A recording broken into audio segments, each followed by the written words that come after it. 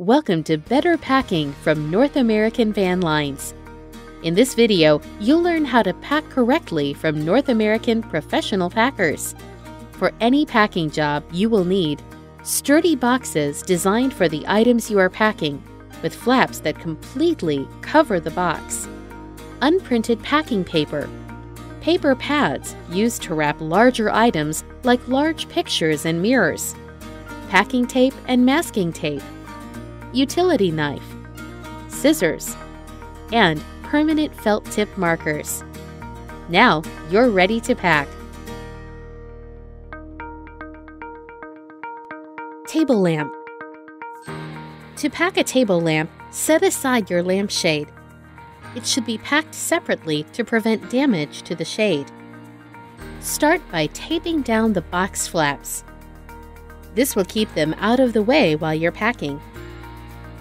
Next, remove the lamp harp and the light bulb.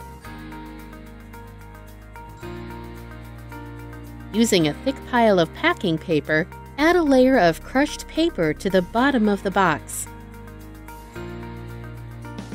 Lay the lamp harp on the paper and fold a couple sheets over the top.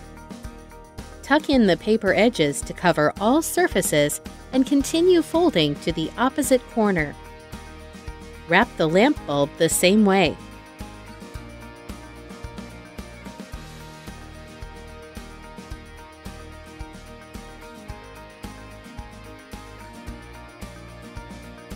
Place the lamp base on the paper. Fold a couple sheets of paper over the base and tuck in the edges. If the lamp is too long to cover both ends, add a couple more sheets of paper and leave enough room to tuck the paper securely over the open end. Continue wrapping paper around the entire lamp base.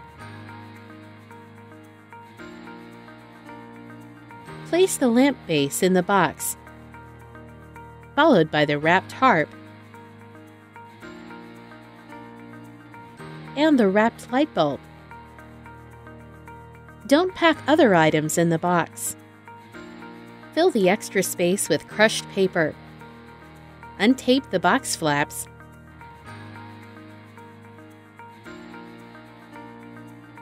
And seal the box with packing tape.